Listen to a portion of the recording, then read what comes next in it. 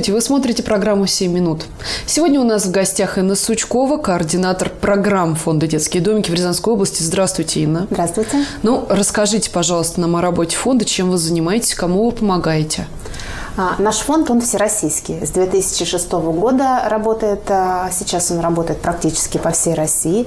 И с 2009 года мы работаем активно в Рязанской области. Помогаем мы детям. Банально. Фонд помощи детям, помогаем детям. А, помогаем детям, которые находятся в интернатных учреждениях, в трудной жизненной ситуации. И уже два года помогаем детям с инвалидностью на надомном обучении реализуется у нас вместе с программой Samsung Electronics э, программа образования для всех. Ну вот вы сказали, что помогаете интернатам, детским домам. Может быть, по организациям пройдемся? Вот кому, в частности, помогаете? Дом малютки? Или... Это дом ребенка. А, это интернаты, как сиротские, так и э, коррекционные, так и обычные. Это социально-реабилитационные центры. То есть это приюты, куда дети попадают временно. Их изъяли из семьи. Э, родители, если опомнятся, э, возьмут себя в руки и изменят свою Э, жизни в лучшую сторону, их вернуть в семью. А если не изменит, то, к сожалению, их оформляет э, в детский дом или интернат. Вот. А там же находятся дети, которые у э, родители не могут сейчас временно воспитывать. Пожар, допустим, случился, пока они там что-то делают, или в больнице кто-то лег. А, соответственно, детей отправляют в социально-реабилитационные центры. Вот. А, помогаем мы и э, санаториям э, детскому туберкулезному. Помогаем мы сейчас активно и с комплексным социальным центром. То есть э, там находятся дети, туда приходят заниматься дети, а, часто с инвалидностью или в трудной жизненной ситуации. А, сотрудники этих э, реабилитационных комплексных социальных центров с ними занимаются, но мы, соответственно, как бы стараемся чем-нибудь, э, какими-то материалами помочь или призами. Вот. Так что у нас очень обширное поле деятельности, и перечислять, наверное, будет очень сложно. Причем наша миссия – помогать мы помогаем взрослым помогать детям. Стараемся узнать, э, какие потребности нужны там или э, в том или ином месте. И, соответственно, распределять те потоки помощи, которые к нам приходят. А, приходят или мы их привлекаем. В общем-то, надо сказать, достаточно много людей откликается, находят нас сами или откликаются на наши призывы помощи.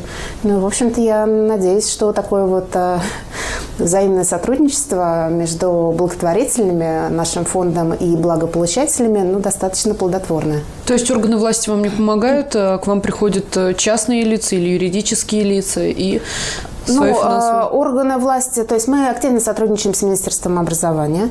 Вот, э, все, наверное, эти годы. Мы э, участвуем во всяких разных конференциях, которые проводят наши органы власти. Но, в общем-то, наши потоки именно на привлечение, направлены на привлечение а, пожертвований частных и э, юридических лиц. Причем не только из Рязани, но зачастую и из Москвы, и из других городов. Вот. А, плюс ко всему, именно наш фонд, то есть не представительство в Рязанской области, а фонд, активно работает э, с мировыми, можно сказать, такими корпорациями Samsung, Procter Gamble, э, различные банки, Арант страхования. Вот. Они реализуют э, программы по всей России, в том числе в Рязанской области. Ну, а наша, в общем-то, основная миссия – рассказать, где же нужна эта помощь, и показать благотворителям, что давайте показать, доказать, а давайте направить направим э, свои потоки именно вот сюда. А, более того, мы стараемся, чтобы наша помощь была направлена на развитие или обучение детей. Вот, это очень важно. В общем-то, сейчас э, не секрет, что очень много людей стараются помогать э, детям. Вот. Ну и чтобы, как бы, опять же таки, грамотно распределять потоки, ну, мы стараемся. Вот я решила вам помочь. Чем я смогу вам помочь? Что от меня потребуется? Э, возможностей для помощи много. То есть э, от э, финансовой какой-то помощи, пожалуй, это самое простое. Передать деньги, чтобы на них что-то приобрели, ну и, соответственно, потом порадоваться хорошему отчету и увидеть, что эти деньги пошли в нужное русло. Вот. Можно прийти, если вы хорошо фотографируете, можно прийти на мероприятие, пофотографировать, можно украсить зал шарами, можно научить детей чему-то. У нас сейчас вот проходит акция «Добрый офис», то есть некоторые организации ставят нашу копилку и в, в течение там, 7-10 дней собирают пожертвования среди сотрудников. Причем это могут быть как финансовые пожертвования, да, так и э, констовары, это может быть спорт, инвентарь, то есть это то, что нужно детям всегда в большом количестве, в общем-то. И, пожалуй, наверное, эти потоки всегда будут тоже актуальными, несмотря ни на что. Активно у нас в Рязанской области реализуется сейчас программа «Здоровый ребенок». То есть э, у нас в программе образования для всех э, есть дети, все дети с инвалидностью на надомном обучении. Ну, как правило, э, государственные возможности обеспечения дополнительного оборудования, ну, не всегда удовлетворяет Удов... потребности. Да, э, поэтому всегда существуют какие-то дополнительные реабилитационные приспособления, которые необходимы детям.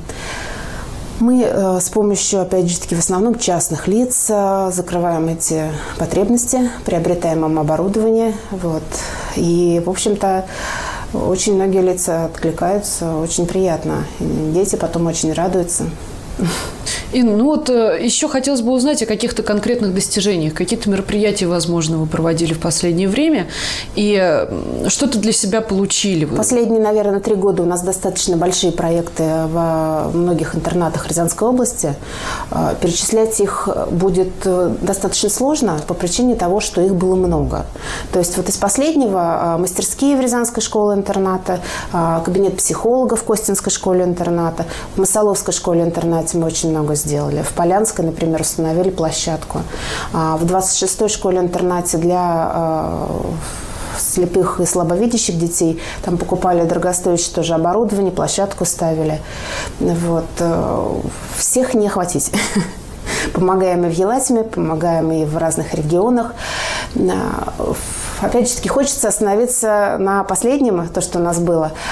23 а, мая у нас было двухлетие программы образования для всех – мы устраивали круглый стол. А, дети, родители, волонтеры, добровольцы рассказывали, а, что им дала эта программа. И было очень приятно услышать, что помимо того, что дети научились пользоваться интернет, э, компьютерной грамотностью, да, то есть мы им вручаем ноутбуки, мы им вручаем многофункциональное устройство, каждому ребенку прикрепляется волонтер-тьютер, который э, помогает ему в освоении компьютерной грамотности. А, но мы еще проводим различные мастер-классы, занятия для родителей, родительские университеты, занятия для добровольцев.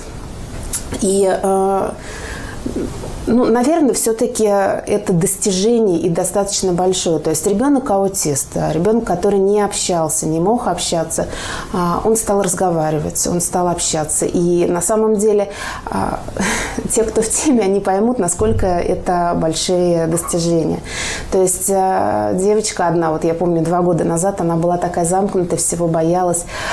Сейчас улыбка не, не сходит с лица, похорошела прямо вся. Она стала уверенной в себе. И э, вот эти вот маленькие шажки, э, ну, в рамках общества, наверное, незаметны.